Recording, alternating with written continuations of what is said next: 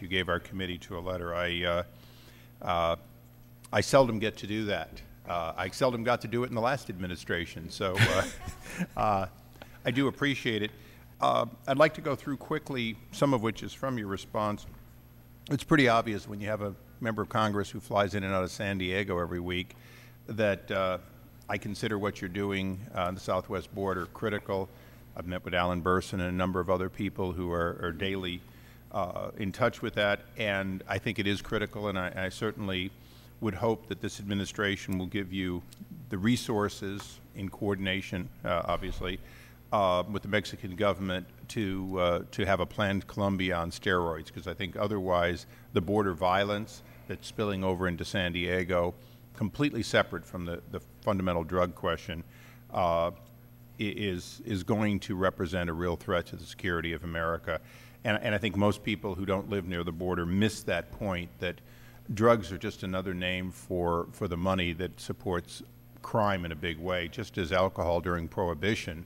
Uh, it wasn't about the alcohol, it was about the organized crime that ultimately began threatening our, our country. Uh, I would like to uh, your response on Afghanistan was good, but it wasn't supported by my trip there. I spent eight days over Christmas uh, going through those poppy fields in Afghanistan and western Afghanistan. Uh, now, I didn't go there to see poppies, but you couldn't miss them since uh, uh, I was reported by the commanders on the ground, both British and Americans, that there's no eradication program. There's no program for eradication, and it's only, it's only just happenstance that people are desperate enough that they're growing wheat uh, to feed their families uh, rather than poppies in some cases. I am pleased to say that the invasion that began, or the, uh, the, the, the, sequential group of invasions began on some of the Taliban head, headquarters uh, in that western region, are likely to give us the ability to control those areas. But having said that, I was in areas we did control and controlled quite well, and we do nothing about eradication. So I hope in your answer you'll tell us the step where you believe we can do something in a country where we do not have the support of the President, the government, or in some cases even uh, regional leaders. It's very clear that Afghanistan has no intention whatsoever of giving up this lucrative sideline that uh, does not seem to corrupt them as much as it corrupts all of Europe and, and of course, has a spillover effect here. Uh, and I will tell you that when I met with the British general on the ground, he was much more concerned about uh, American policy than I think we were. Uh, I'd like to have you answer, though, two additional areas that you did not expect to hear from me. First of all, you mentioned prescription drugs. Uh, it does appear as though the previous administration and administrations going back a very long time have missed bringing to the Congress and to the U.S. attorneys uh, real opportunities to uh, take the abuse of, you mentioned meth, but I certainly would mention Oxycontin and lots of the other drugs of choice uh, that are, in the case of Florida and a number of other uh, areas, uh, there's very easy to find organized uh, operations that appear not to be treated as dangerously, they almost appear to be treated as white collar, and you can rebut that, but that, that does seem to be a lot of what we're seeing, and people are dying from drugs that technically are completely controlled by us from their inception and uh, distribution and so on. And last, one that I, have never heard from your office before that I have a personal concern for having served uh, in California on the Prison Industry Board. People do not come out of prison sober from a drug standpoint because drugs are so available in our prisons. And I would ask you a rhetorical question. If you cannot have a war on drug availability in federal, state, and county prisons and have it win, then how can we expect to win anywhere else in any other arena where the complete freedom of drugs is by compar comparatively obvious? And that's, that's really, uh, you don't have to comment on all of them, but the last two I'm particularly interested in. I, I, just would make one quick comment on Afghanistan that I don't, I don't think anybody feels comfortable seeing American soldiers or the ISAF forces there among the poppy fields. I clearly understand, and Ambassador Holbrooke has taken great pains to explain to me uh, uh, the rationale and the reasons. Uh, I think we will make progress in in the future on that issue. I'm particularly heartened by the work we're doing with the Russian uh, uh, FSKN, their mm -hmm. federal drug control. Um, because it affects Russia far more deeply than it affects us. And, and I think your, your point is excellent. On the prescription drug issue, I don't think it really has been raised to the attention because we oftentimes think about uh, prescription drugs as being safe, and yet young people we know abuse these prescription drugs for exactly that reason because they believe that they are safe, when in fact, when they're misused, they are quite deadly and quite addictive. Uh, and we know, and we know a lot of those stories we are bringing this to the attention every day to people in, in every possible way, including the uh, media campaign, which has been very effective at educating adults uh, about what is within their own medicine cabinets. Uh, I know Congress is working hard on take back programs, Congressman Stupak, Con- Congressman uh, uh, Inslee, uh, on how to get rid of these drugs that are existing in medicine cabinets in a safe way that does not harm the environment. And we support those efforts very much. On the prisoners, I think you are exactly right. As uh, state budgets uh, uh, decrease and more people are released, if these people went into prison with a drug problem and they did not get treatment within the walls, we should not be surprised when they are released back uh, into into our communities uh, that they're going to reoffend. That's why I'm very encouraged. I, I, don't want to. My time has expired, but I just want to make sure I directed directed the question it was about the fact that they are on drugs. They have availability of drugs in prison. It, it's the absence of the ability to have them simply withdraw for a period of two, five, or ten years while they're in prison. I agree that we need treatment, but it was actually that can we make prisons a drug free environment? And I think uh, among the uh, the correctional uh, uh, experts that I have talked to, that whether it's cell phones, whether it's drugs within prison, whether it's uh, uh, homemade alcohol, those are, are, are significant problems. I, uh, I think there's some technology that the prison systems are exploring to actually do a better job of, of doing that. Thank you. Thank you, Mr. Chairman. Thanks. Thank the gentleman. Um, Mr. Kerlikowske, at the UN Commission on Narcotics Drug Summit, you stated that, quote, the U.S. supports many specific interventions, such as medically assisted drug treatment, syringe exchange programs, and the use of detoxification and treatment services tailored to the needs of those suffering from the disease of addiction. However, you stated that, quote, we do not use the phrase harm reduction to describe our policies because we believe it creates unnecessary confusion and is too often misused to further policies and ideologies which promote drug use, unquote. Your testimony submitted to this subcommittee, while briefly acknowledging the spread of HIV from drug use, is silent on both syringe exchange programs that have shown positive results in limiting the spread of HIV and the issue of harm reduction interventions generally. Do you acknowledge that whatever title or characterization you choose to use, that these interventions can be effective in reducing the spread of death and disease? Do you agree? that we need to fund more programs that help reduce death and disease. Does the budget propose to fund any intervention programs that have demonstrated positive results in reducing drug overdose deaths? Do you have any plan for dealing with the overdose crisis and the HIV AIDS epidemic? And what is the basis for your belief that the term harm reduction implies promotion of drug use. What about HIV, Director? Your question about the about the overdoses and reducing that, I think that uh, part of the answer was educating parents and doing all of the work. That is the spike in, in treatment admissions. That is the spike in people going to emergency rooms, and it's also causing the spike of, of fatal overdoses we don't use the term harm reduction because it is somewhat in the eye of the beholder or the ear of the beholder, I guess. What's in your ear uh, and your eye with respect to that? I've heard people talk about harm reduction as if it's legalization, and I've heard people talk about. Is that how you believe? Is that your interpretation? I, I think I think when we go down, no, I, you know, personally, I don't have an. No, you're the director. How I, no, I haven't it? spent a lot of time thinking about whether uh, whether I should put a definition on it. Frankly, I don't think that's. You haven't really given any thought at all.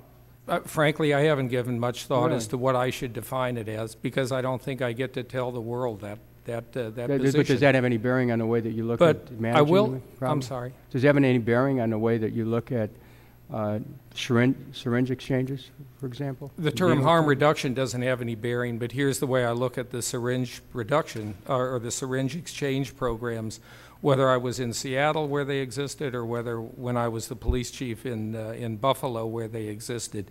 If they are part of a comprehensive program to get people to, one, have the, the spread of uh, hepatitis C, the spread of HIV, that reduction is important. But if they also serve as a gateway to people who are interested and want treatment and can use treatment, then I think it can be quite effective. What about AIDS? What about HIV? A- A- um, HIV, How- AIDS. How serious a matter also. is that, and how serious do you take your uh, policies with respect to being able to limit the spread of HIV? Do you see any fit between that as a public health issue and your responsibilities as uh, director? I do, and we work very closely with. Be uh, specific in your with-. We do, because uh, as you know, that uh, this administration, working with Congress, uh, relieved the, the federal ban on, uh, on needle exchange.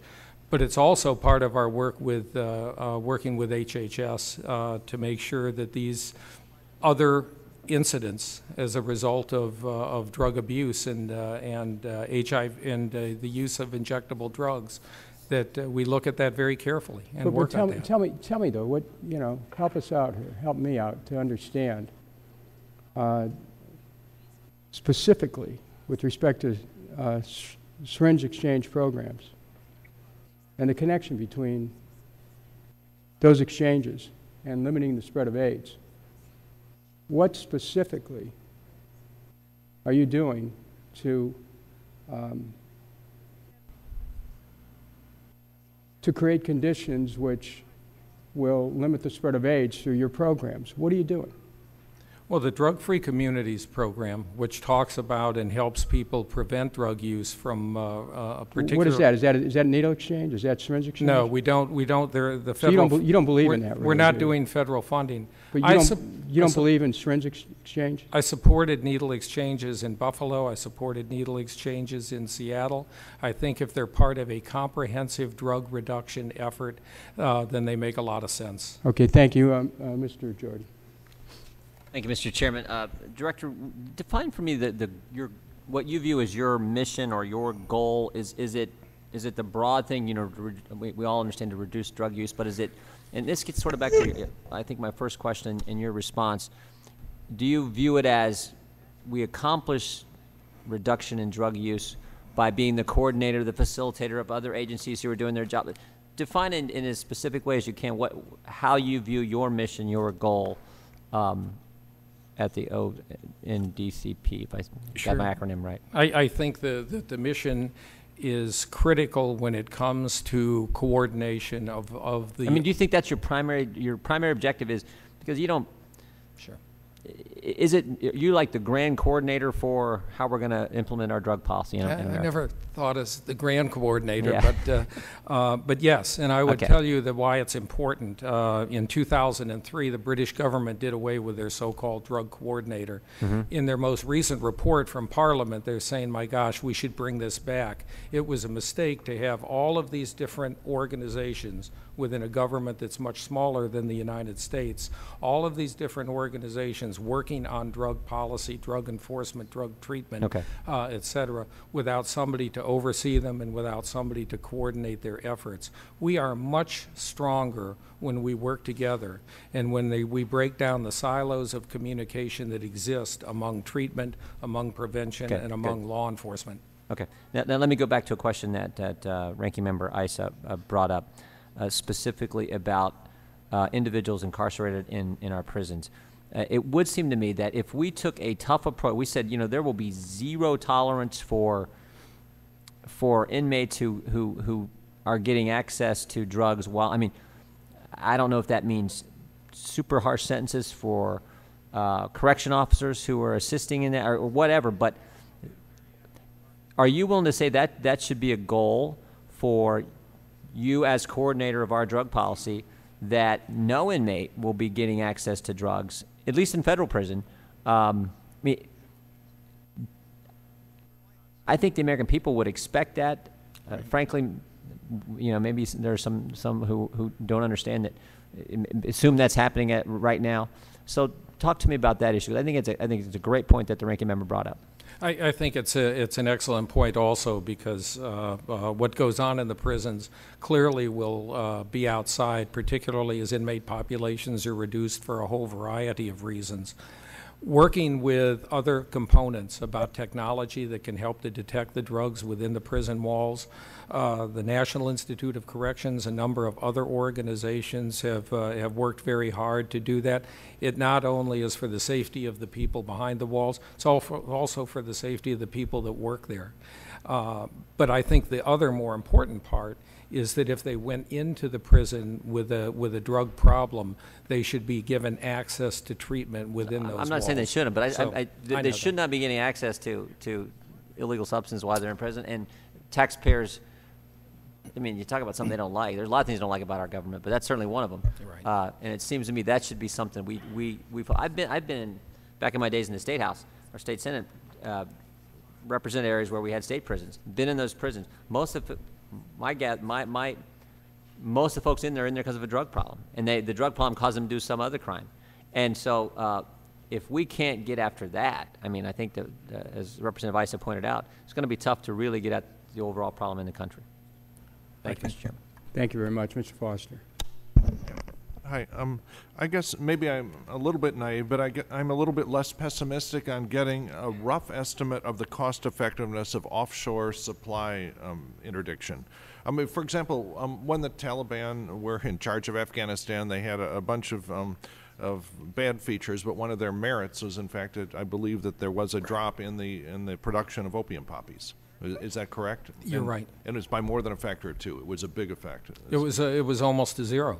Almost zero. They- okay, they so we have a calibration point. We can see what the effect will be. Presumably, if you wipe out that source of opium poppies, that will trigger an increase in the world price of opium, that will trigger a drop in the demand in the United States, and a um, hopefully measurable drop in the destruction of, of human life in the United States. So we, I believe, have a calibration data sample to know what would happen if we could throw that switch the other way, get rid of all opium poppies in Afghanistan, and what.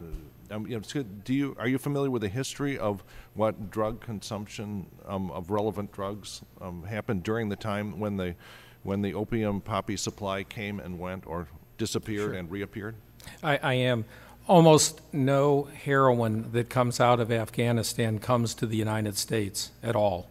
Uh, and it has not, whether it's during the height of, of opium production or uh, poppy production and, and, and heroin production in that country or not. Uh, our source of heroin in the United States has been Mexico. Uh, unfortunately, the source for uh, Russia, the source for the UK, the source for Europe quite often is Afghanistan. And that's why we really have to work very closely with international partners to reduce the, uh, uh, uh, the, to stop the flow coming out, to stop the production, to go after the labs, as Ambassador Holbrooke has uh, talked about. Now, is there in fact a world price for this? Is this like oil? Where, you know, we, we import almost no oil from Saudi Arabia, okay, but that doesn't mean that Saudi Arabian production is very crucial to um, the price that we pay for oil. And, and so is there in fact a pretty um, you know, liquid world market um, for, for, you know, drugs in various states of processing? Unfortunately, there's a there's a, a, a, a, pretty interesting piece that uh, the Rand Corporation had done a while back that shows that you can have a, a fairly significant effort in reducing, and their study was on precursor chemicals that were used to manufacture, I believe at that time it was uh, methamphetamine. After that significant reduction, the amount of uh, availability of the, of the drug uh, decreased, the uh, uh, price went up. It didn't take long at all for, unfortunately, for the market and the, uh, and the, and the drug dealers to respond quickly. So when Afghanistan went down in opium production, uh, the area of the Golden Triangle filled that void. Yeah. Now, doesn't that really call into question um, putting any money into getting rid of opium poppies in Afghanistan? I think what it calls into question is, is uh, one or two things. People that look at eradication as just a method of reducing uh, the amount of drugs that may go somewhere else and don't see it as a part of rule of law, um, Uh, Colombia, again, is a good example. Uh, using it for other reasons to increase uh, democratic forces, to show the, the fact that government can be effective and work Okay, and so, but so actually be more productive. economically, the trade-off, the trade-off has nothing to do with, with reducing the damage of drugs in the United States, is that? I- that I if, think- if we were successful at wiping out the opium poppies in Afghanistan, the effect, the anticipated effect on drug consumption in the U.S. would be very small? It would be very small in Afghanistan because very little of the, of the drugs ever come to the United States.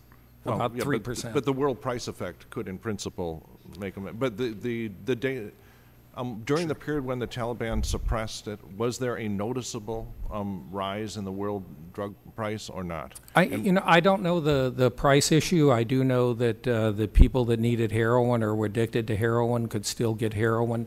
There might have been a dip, but then when the production in uh, uh, the Golden Triangle increased, it filled the void.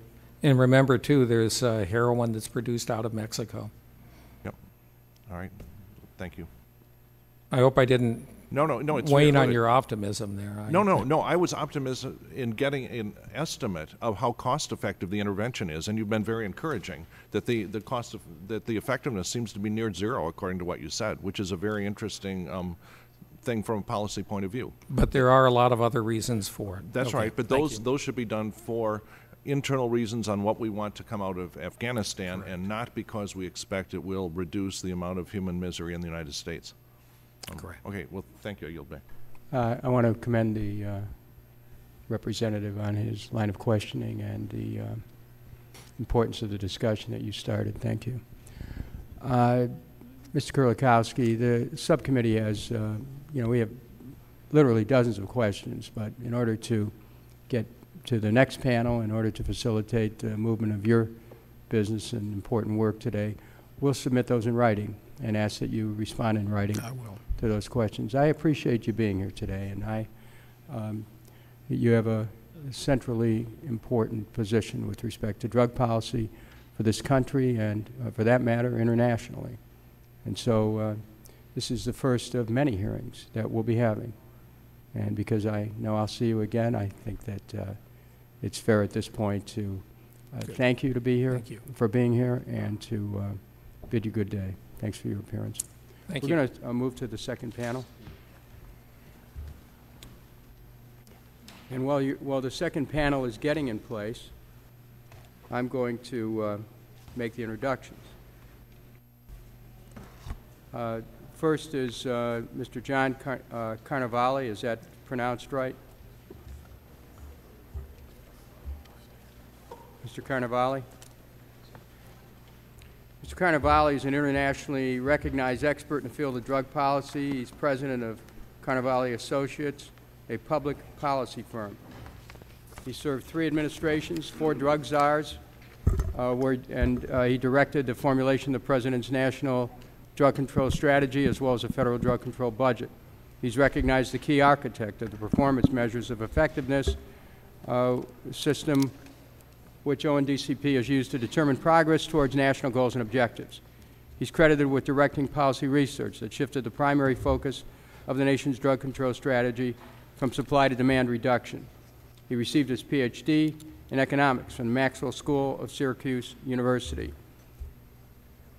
Ethan Nadelmann is executive director of the Drug Policy Alliance, which advocates from drug policies grounded in science, health, and human rights. He received his BA, JD, and PhD from Harvard, a master's degree in international relations from the London School of Economics. Taught politics and public affairs at Princeton, where his speaking and writing on drug policy attracted international attention.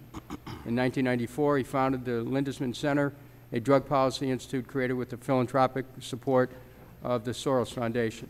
In 2000, the growing center merged with another organization to form the Drug Policy Alliance and Drug Pol- Policy Alliance Network. Uh, Dr. Vanda uh, Feldbub Brown, is that right? Is a fellow in foreign uh, policy and in 21st Century Defense Initiative at Brookings, where she focuses on South Asia, the Andean region, Mexico, and Somalia. She's an expert in international and internal conflict issues and their management, including counterinsurgency and the interaction between illicit economies and military conflict. She's an adjunct professor in the Security Studies Program, School of Foreign Service at Georgetown, Prior to taking up her position at Brookings, she was assistant professor at Georgetown. Frequent commentator in the media, she's authored a forthcoming book, Shooting Up, Counterinsurgency, and the War on Drugs. I look forward to reading that. Professor Peter uh, Reuter, is that right? Is testifying in place of Rosalie Pacula, who is uh, ill. Uh, Professor Reuter is professor in the School of Public Policy and Department of Criminology at University of Maryland. Served as editor of the Journal of Policy Analysis and Management.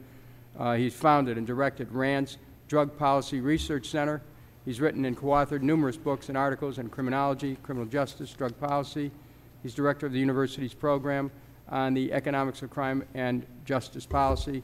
Dr. Reuter received his PhD in economics from Yale. Thanks to all the witnesses for being here. It's the policy of the Committee on Oversight and Government Reform to swear in all witnesses before they testify. I would ask that you rise and raise your right hand. Do you solemnly swear to tell the truth, the whole truth, and nothing but the truth? I do. Thank you very much. Let the record reflect that each of the witnesses answered in the affirmative.